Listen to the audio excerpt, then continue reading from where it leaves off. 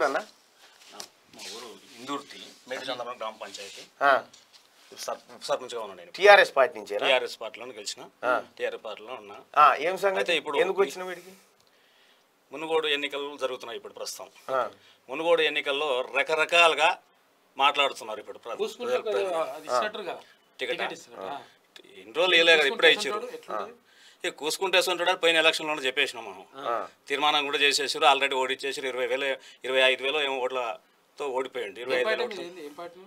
TRS నేను TRS అంటుంటే టీఆర్ఎస్లో ఉన్నా ఇంతవరకు. ఇప్పుడు చెప్పే. అయితే ఈ రకంగా ఇప్పుడు ఎలక్షన్లు జరుగుతున్నాయి. రాజగోపాల్ రెడ్డికి వెళ్ళలేడు రాజగోపాల్ రెడ్డికి వెళ్ళని ప్రచారం చేస్తున్నారు. రాజగో ఇప్పుడు అసలు మునుగోడు ఉప ఎన్నికలు ఎందుకు వచ్చినాయి? మునుగోడు ఉప ఎన్నికలు వచ్చినట్టు రాజగోపాల్ రెడ్డి రాజీనామా చేసినాడు. రాజగోపాల్ రెడ్డి రాజీనామా ఎందుకు చేసిండు? రాజగోపాల్ రెడ్డి రాజీనామా ఎందుకు చేసిండు? మూడున్నర సంవత్సరాలు ఒక ఎమ్మెల్యేగా ఉండి రెండున్నర లక్షల ఓటర్లకు రిప్రజెంట్గా ఉండి ఐదు లక్షల జనాభాకు ప్రతినిధిగా ఐదు ఆరు లక్షల జనాభా అక్కడ. ఒక కాన్స్టిట్యూషన్కు ఎమ్మెల్యేగా ఉన్నాడు మూడున్నర సంవత్సరాలు. మూడున్నర సంవత్సరాలు ఉండి అసెంబ్లీలో ఎన్నిసార్లు మాట్లాడాడో ఎన్ని అనేక రకాల టీవీలో చూసినాం మనం అన్ని ఛానల్లో చూసినాం మనం. ఆ చర్లగూడెం ఆ కృష్ణాంపల్లి భూ నిర్వాసితులు రైతు బంధు. భూ నిర్ భూ నిర్వాసితులు భూ నిర్వాసితులు భూ నిర్వాసితులకు ఏమంటే ప్రాజెక్టుకి ఏమో కాంట్రాక్టులకు ఏమో డబ్బు ఉంది ఈయన దగ్గర కాంట్రాక్టులకు వందల కోట్ల రూపాయలు వేల కోట్ల రూపాయలు ఖర్చు పెట్టడానికి ఏమో డబ్బు ఉంది ఈయనకు. ఎందుకంటే దాంట్లో ఎంత కమిషన్ వస్తుందో తెలియదు. ఈడ భూ నిర్వాసితులకు ఇంతవరకు ఆయన సమస్య ఏడు సంవత్సరాలు అవుతుంది. రెండు వేల పదిహేనులో ప్ర- ప్రారంభం చేసినాడు ప్రాజెక్ట్ని రెండు వేల పదిహేనులో ప్రాజెక్టు ప్రారంభం చేసి ఇంతవరకు భూ భూ నిర్వాసులకు సమస్యలు పరిష్కారం కాలేదు ఇంతవరకు.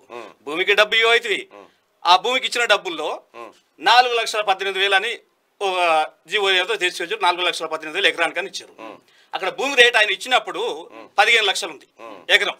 ఇప్పుడు ఈ రోజు అయితే నలభై లక్షలు యాభై లక్షలు పోతుంది. మరి నలభై లక్షలు యాభై లక్షలు పోయేటప్పుడు నాలుగు లక్షల పదిహేను వేలు వాళ్ళకి చేర్చేసి వాళ్ళని ఏడ భూమి కొనుక్కొని రైతులుగా బతకమని చెప్తావు? వాళ్ళకేమంటే ఆ రోజు ప్రాజెక్ట్ ఓపెన్ చేసే రోజు ఓ పని చేయమని రాదు. ఈ చెర్లగూడెం నిర్వాసితులకు ఫామ్ హౌస్ కాడి మన భూములు. ఫామ్ హౌస్ కాడ.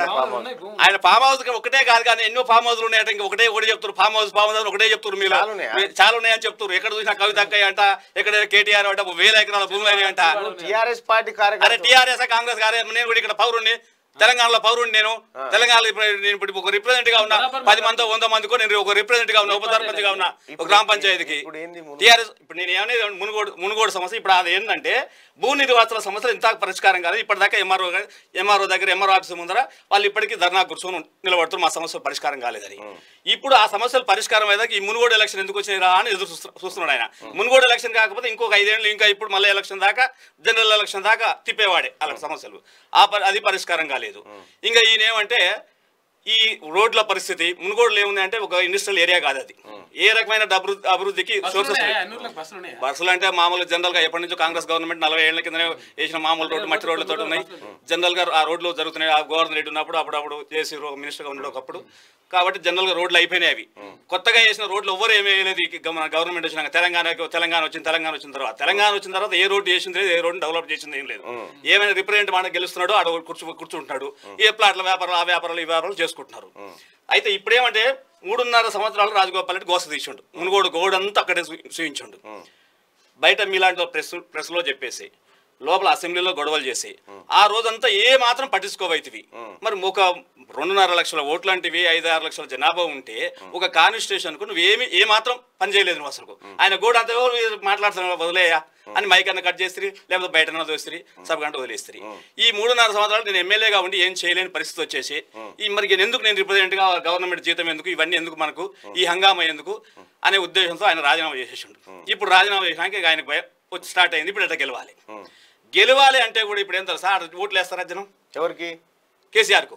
ఎట్లా వేస్తారు ఓట్లు? ఎందుకేరు నువ్వే ఎవా ఎట్లా వేస్తామే నేను? టీఆర్ఎస్ ఉప సర్పంచ్. టీఆర్ఎస్ కాంగ్రెస్ కాదు. వాడు భూ నిర్వాసులు నా పక్కన ఊర్లో మొత్తం మా గ్రామ పంచాయతీ పక్కన ఊర్లో మొత్తం భూ నిర్వాసులు రోజు ఏడుస్తానే ఉంది నువ్వు ఒక రోడ్డు ఏమైతే నేను ఒక బండి తీసుకున్నా లక్ష రూపాయలు పెట్టి బండి తీసుకుంటే ఇక ఆ రోజు ఏ రోడ్లు నడిస్తే తెలుసా? ఆరు నెలలకి బండి ఖరాబ్ అయిపోయాయి.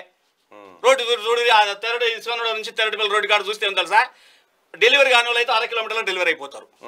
ఎనిమిది నెలలు ఎనిమిది నెలలు ప్రెగ్నెంట్గా ఉన్న వాళ్ళు పోతే ఎనిమిది ఆరు గంటల లోపల డెలివరీ అయిపోతారు. అది చస్తుందా బత్తా అనే తర్వాత సమస్య.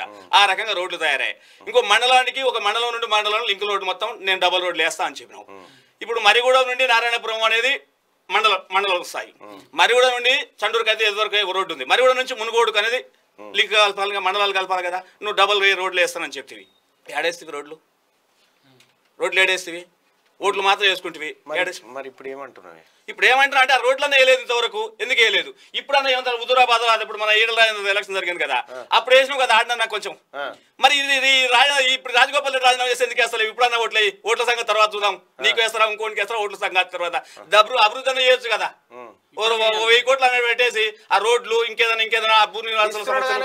ఎవరికి ఇస్తున్నాడే? అవునానే గొర్రెలు ఇస్తున్నాడు అంటే బీజుల ఓట్లు మొత్తం అరవై ఐదు పర్సెంట్ ఓట్లు ఉన్నాయి మునుగు అరవై ఐదు నుండి డెబ్బై పర్సెంట్ ఓట్లు ఉన్నాయి మునుగోడ్ల. మునుగోడ్ల.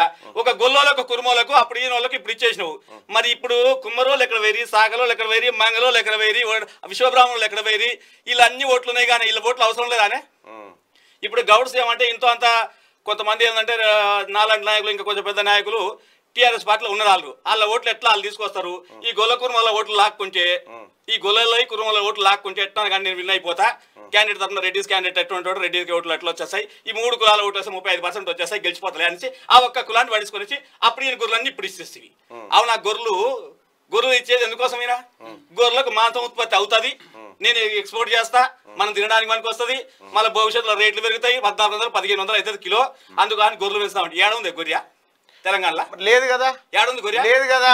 రాజీనామా చేయి నీ పార్టీకి. ఊరు నువ్వు. నా పార్టీ రాజీనామా చేసినా చెప్తున్నా. ఇప్పుడు రాజీనామా చేస్తున్నా రాజీనామా చేసి వస్తున్నా. చేసే వస్తున్నావా? ఆ, ఆ, రాజీ నాకు అవసరం లేదని చెప్పి రోజుగా పల్లెటూరు కలుస్తున్నా. టిఆర్ఎస్ పార్టీకి ఉప సర్పంచ్గా రాజీనామా చేసి రాజీనామా చేసేనా?